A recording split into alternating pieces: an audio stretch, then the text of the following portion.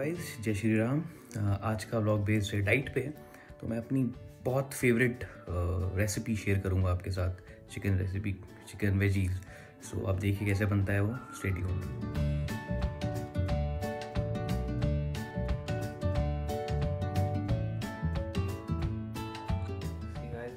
not an easy task. About a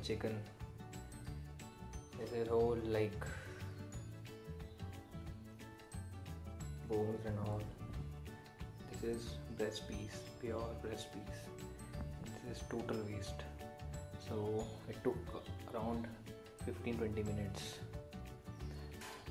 खाली gym gym करना नहीं होता है वेट उठाना नहीं होता है, भोजन भी करना होता है अच्छा हेल्दी भोजन, जो बहुत मेन है रूटीन फॉलो करना होता है। जिम जाना होता है, अच्छे से सुबह उठना होता है अच्छा खाना होता है तुम्हें तो ये सब चीज़ें हैं जो सबको लगता है बॉडी ऐसी बन जाती है बट ये सब चीज़ों का ख्याल रखना पड़ता है।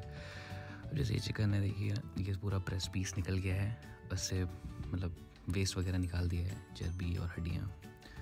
वो भी टाइम कंज्यूमिंग है काफ़ी। तो अब ये जैसे हड्डियाँ और वो निकाल दिया है इससे तो फिर अब इसे मैरिनेट करेंगे हम, और मैरिनेट करेंगे मसालों से। तो मैं यूज़ करूँगा ब्लैक पेपर एवरेस्ट का और एम मसाला। इसके बाद इसमें हल्दी डालूँगा, नमक डालूँगा थोड़ा सा। टेस्ट के अकॉर्डिंग ज़्यादा नमक डालना नहीं है वैसे। फिर इसको अच्छे से मिक्स करूँगा ब्लैक पेपर और एमडीएच का मसाला डालने के बाद चिकन मसाला डालने के बाद, अच्छे से एकदम सॉफ्टली